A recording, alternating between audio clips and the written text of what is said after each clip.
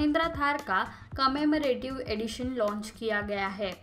थार 700 की कीमत नौ दशमलव नौ नौ लाख रुपए रखी गई है।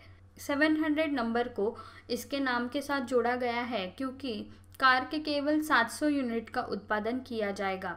थार 700 का उत्पादन दो अलग अलग पेंट शेड्स नापोली ब्लैक और एक्वा मरीन में किया जाएगा। बाकी के फीचर्स में पाँच स्पोक 15 इंच के एलॉय व्हील बोनेट लीड पर काले रंग के डेकल्स और फ्रंट बम्पर पर सिल्वर फिनिश शामिल है। जहाँ तक इंजन और ट्रांसमिशन की बात है, थार 700 में दो दशमलव पाँच लीटर का सी इंजन लगा है, जो पाँच स्पीड गियर बॉक्स से मिलता है। अगर आपको ये वीडियो अच्छा लगा तो इसे लाइक और शेयर करें। ऑटो अड्डा चैनल को सब्सक्राइब करें। अगर आपका कोई सवाल या सुझाव है तो कमेंट करके हमें बताएँ।